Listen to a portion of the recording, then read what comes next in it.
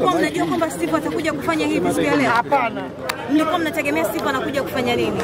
sikuwa tumekuja kusikiliza Lakini ghafla akabadilisha maamuzi. eh, kabadilisha maamuzi, labda tulikuwa tumekuja kusikiliza labda sijui maamuzi ya nini. Kimemsukuma mpaka akaamua kubadilisha uamuzi.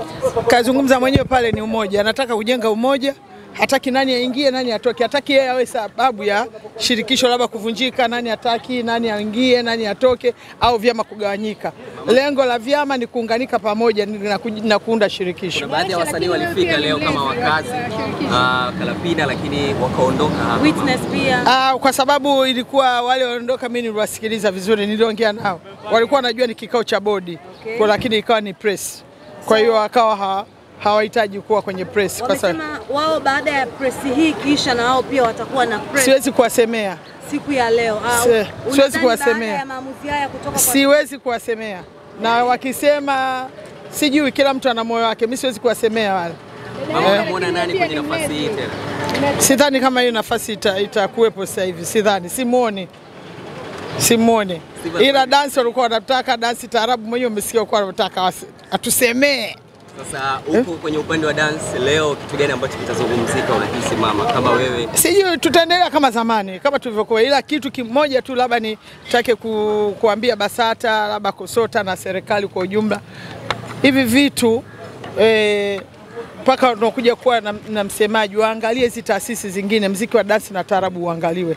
Ni mziki ambao unakwenda una, unakwenda yani haupewi uzito wake, yani upewe uzito wake hata kwenye malipo, hata kwenye nini, hasa ukiangalia hasa malipo ya, ya ya matamasha haya ya, ya serikali na, na kadhalika, unakuta watu ni wale wale, na ndio maana eh, yana tunagongana gongana hapa, na kuwa kama tuna makundi. Tunaomba tu serikali, tunashukuru kuna waziri mpya ayafanyie kazi. Hizi ni changamoto Steve alisema kwamba akiwa msemaji sasa hakikisha kwamba muziki wa dance unarudi kwenye heshima, lakini vile vile muziki wa taarab unarudi kwenye heshima, tuache kiingilio. ndo nasema hizi ni changamoto, hizi ni changamoto zitafanyiwa kazi, na unaona siku nne nzima nchi ilisimama, ilikuwa ni Steve, Steve, Steve, Steve, msemaji, msemaji, msemaji.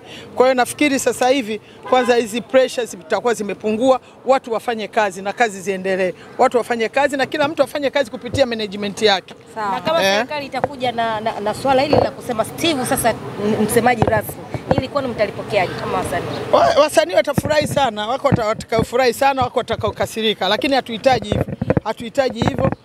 Tuiachie tu serikali iangalie hii kwa upande wa, wa BASATA na Wizara ya Utamaduni waangalie kwamba hili tatizo limetokana na nini, na hizi ni changamoto mimi nazosema zitafanyiwa kazi. Nafikiri wame, wameona wameona nguvu iliyotumika, mitandao yote ilikuwa ni Steve ni Steve.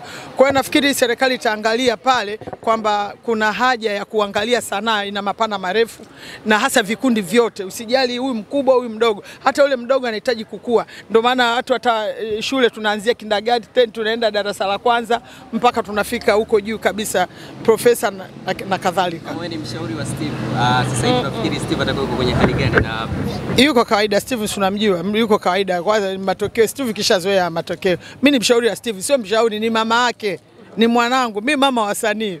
Kwa hiyo unaona, mi ni mlevi, unaona hata pale kama ulivyoona, nilikuwa naongea na kina Karapina ambao walikuja na na tempa, lakini nimeongea nao watulie kidogo, watu press imeisha, watulie, na kama una haki usije kwenye kwa jazba, unaona. Kwa hiyo mimi kidogo na wasanii wananichukulia mimi mama yao, kwa hiyo na mimi nawaheshimu hivyo wasanii kwamba wananiheshimu na mimi nawaheshimu, na nitaendelea kuwapa ushauri kama mama yao na ndio maana pale nimwambia jamani, kama ni presi hii ni presi, nyie nendeni mkarelaksi, mtaita kikao chenu baadaye. Wacha waandishi wa habari wafanye kazi yao, Kazi eh, kazi ziendelee. Asante.